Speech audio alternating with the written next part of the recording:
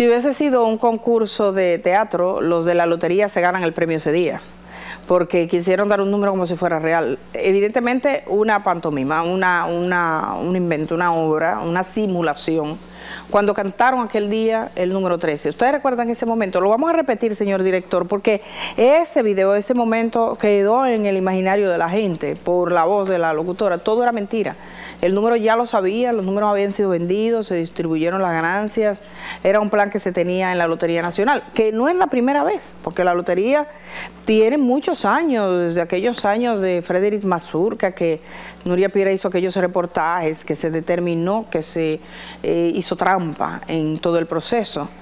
Y lo grande es que hay cada vez más gente que va a jugar, hay más... Eh, eh, bancas de lotería que escuelas en nuestro país, la gente va y pone su dinero soñando un futuro, soñando un futuro. La verdad que si con todo lo que los dominicanos y dominicanas juegan, se fueran a ahorrarlo, el dinero fuera inmenso, eso es un capital que usted lo deja. Y bueno, eh, junto con la lotería, no solo la lotería como entidad, sino todas las estaciones como de bancas o empresarios que abren una banca, una estafeta. Yo contaba en algunos lugares cosas impresionantes de, número de... Ellos le llaman bancas para que uno tenga como la idea de que es un banco, de que estoy en un negocio de, ahorro. No, no, no, no, es, es un problema. Pero vamos a ver el momento en que cantan el 13, que fue eh, esa, esa, ese, ese momento, que fue un, un vendedor que tenía una empresa de ventas de, de números de lotería, el que se percata que hay una jugada rara, porque nadie está pendiente a eso. Usted, eh, dígame ustedes quiénes ustedes ven el sorteo de la lotería. Ustedes escuchan los números que salen al final y miran a ver lo que salió, pero 120 pesos y cómo se hace y todo, la gente lo escucha nada más. Lo escucha y lo lee porque quiere saber si sacó lo que sea. Pero ese señor se fijó y dijo, no, no, mira, que hay una trampa. Y así comenzó el proceso que hoy encontrará la lectura de la sentencia, a ver si condenan al exadministrador a los 12 años que están pidiendo para él a otro funcionario a 10 años. O sea, son penas bastante gravosas las que está pidiendo el Ministerio Público por una serie de delitos que se concretan específicamente en el momento en que esté ese sorteo, que es este momento que vamos a ver. Póngalo, señor director correcta. Mostramos las manos en el globo A. Mostradas están con toda claridad. De inmediato procedemos a abrir este globo. Introducimos la mano derecha y removemos los bolos que participan para el primer premio. Bolos numerados desde el 00 al 99 ya están. Mostramos las manos en este globo. Introducimos la mano derecha de inmediato y extraemos el primer premio de este sorteo de la noche de tu Lotería Nacional. Corresponde al número 13. 1, 3, número 13.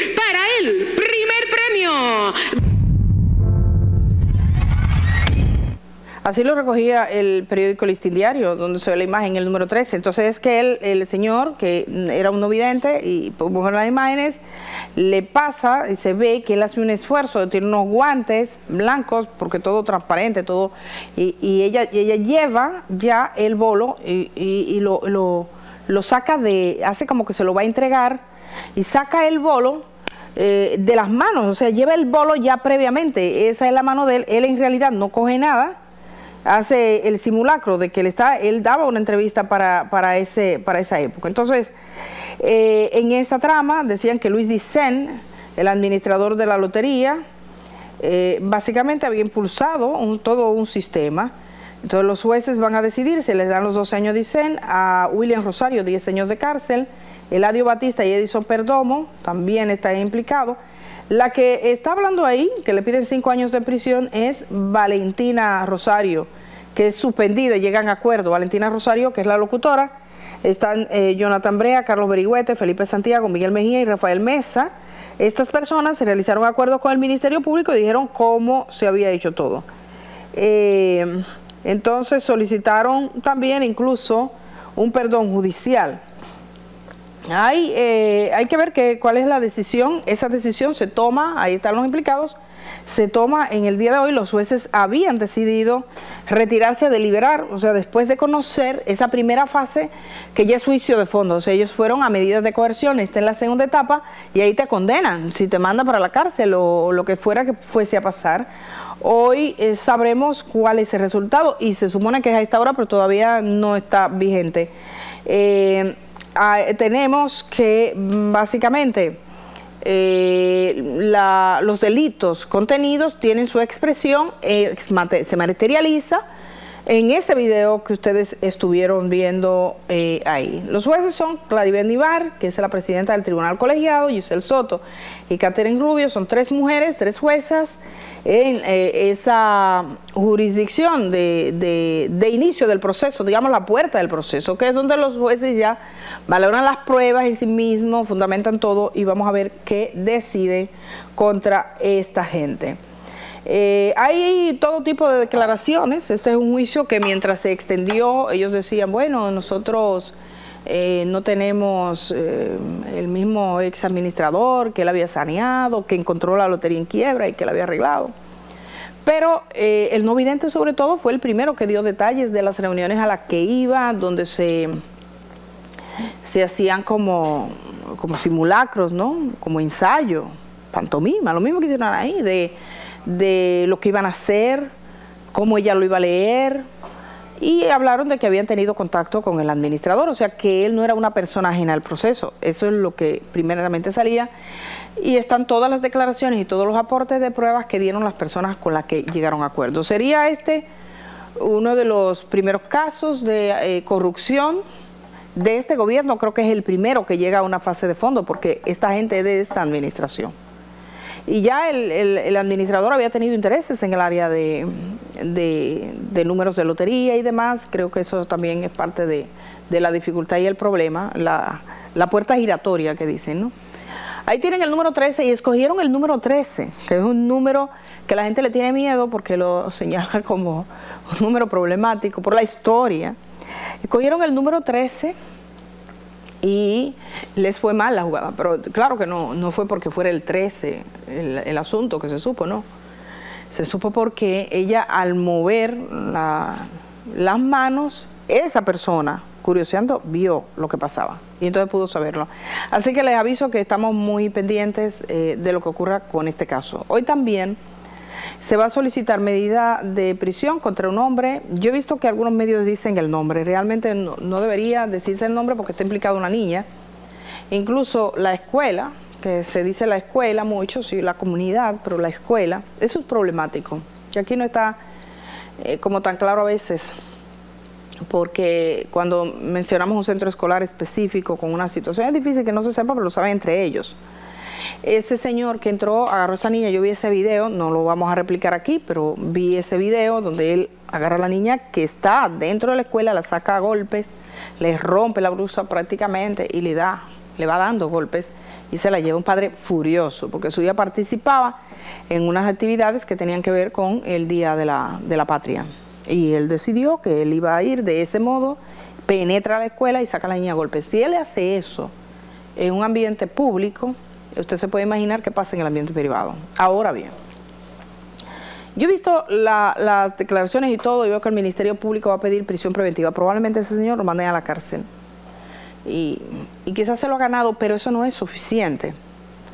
El primer problema que tenemos aquí es el siguiente. Si usted tiene un maestro que agrede a un alumno, usted dice, bueno, apreso al maestro, lo pongo en la cárcel, separo al alumno y el alumno sigue su vida. Vendrán otros maestros y otras maestras y podrá superar la experiencia. El problema que tenemos aquí es que se trata del papá y él no va a dejar de ser su padre, es su papá, es su padre.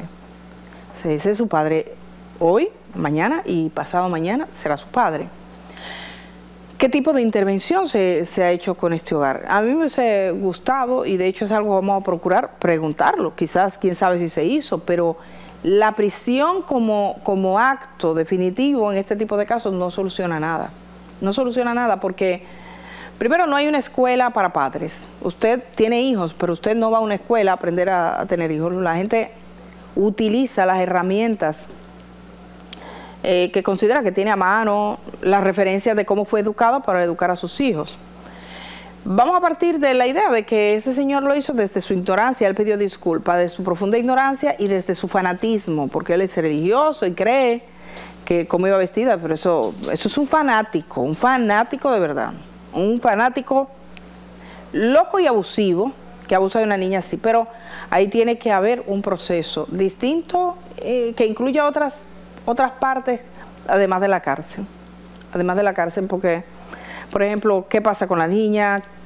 qué pasaba antes, que no nos deje la idea solo ese momento que vimos, a ver qué pasaba antes, eh, tenía historia de abusos, tiene hermanas menores, hermanas mayores, ¿quién le atiende ahora? Yo siempre que veo estos casos me quedo preguntándome qué pasa con, con, con la persona menor de edad, porque a veces hay una intervención así de introspectiva, sobre todo cuando se trata de temas que se han viralizado, que están en las redes sociales, que todo el mundo dice, la autoridad llega y de una vez, no estemos presos, pero que no se nos olviden de la niña. Nadie nos ha dicho si la niña está en un centro, si ha recibido algún tipo de asistencia, qué asistencia va a recibir la familia, qué pasa con la madre de esa niña, qué pasa con su escuela. Y eh, sobre todo, nosotros acabamos de tener la aprobación en algunas lecturas, todavía no ha sido promulgado del Código Penal, que tiene muchas carencias, pero una de las más importantes que tiene es que legaliza el, eh, el, golpe como una medida de, disciplinaria, o sea, que la disciplina es muy relativa al criterio de disciplinar que tiene eh, ese código y uno escuchaba las, las conversaciones de algunos legisladores. Sí, pues yo me crié así.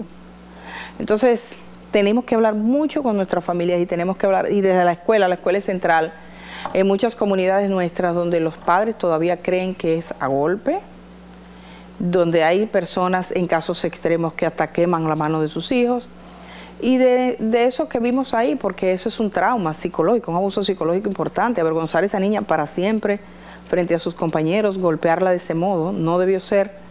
Pero me pregunto si solo nos vamos a quedar con esta, con esta decisión de pedir prisión preventiva. Quizás necesita la prisión preventiva pero hay que ver si él está dispuesto, como él ha dicho, él, ha pedido disculpas, qué garantías tenemos, cómo va a hacer eso. Un tema sumamente complejo y aprovecho para cada ciudadano en el más apartado rincón del país que esté, a que pensemos sobre eso. Yo sé que aquí nosotros tenemos muchos gestos violentos que comienzan con la autoridad, porque hay una familia ahí que está denunciando en la provincia de la Altagracia que le acaban de matar a un hijo porque no obedeció la orden de detenerse iba en un motor y que una patrulla de la policía lo mató. Eso es una imagen muy violenta de lo que puede ocurrir eh, entre nosotros. Entonces, los, la gente, los padres, las familias, o sea, como que bajarle un poco a la violencia. Y, y hablarlo en comunidad, y hablarlo hasta la misma iglesia de ese señor. O sea, tu hija, según tu fe, tiene que tener unos preceptos y así la saca. ¿Qué es eso? y así vas y la golpeas. Uno no quisiera, es muy triste esa imagen. Pero sigo preocupada así por el destino de esa niña y porque ese, ese señor, en definitiva, continuará siendo su padre, si se va a reeducar, si, si en el sistema carcelario hay herramientas para eso, yo lo dudo. Hacemos un cambio, señor director, regresamos de una vez, tenemos algunas cosas más en esta mañana, regresando después de estos días, que yo vine hoy ya como wow, después de, dos semanas a uno le parece que fue un mes, pero fueron dos semanas.